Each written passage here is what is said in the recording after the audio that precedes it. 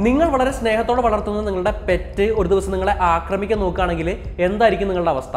അവരിൽ നിന്ന് അങ്ങനെ ഒരു ആക്രമണം ഒട്ടും പ്രതീക്ഷിക്കാതെ നിങ്ങൾക്ക് ചിലപ്പോൾ പെട്ടെന്ന് അതിനെതിരെ പ്രതികരിക്കാൻ കഴിഞ്ഞെന്ന് വരില്ല. ചിലപ്പോൾ മാത്രം.